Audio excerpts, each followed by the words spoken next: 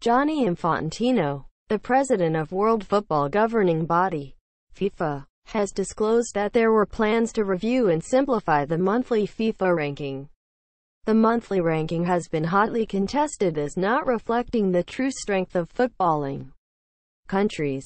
Infantino, who spoke to the media center in Moscow on Friday morning, conceded that the rankings could be better and promised that a more competitive system will soon be introduced. He said, We are not unaware of the fact that the rankings have not reflected the true position of participating nations and I can assure you that it will be changed for the future.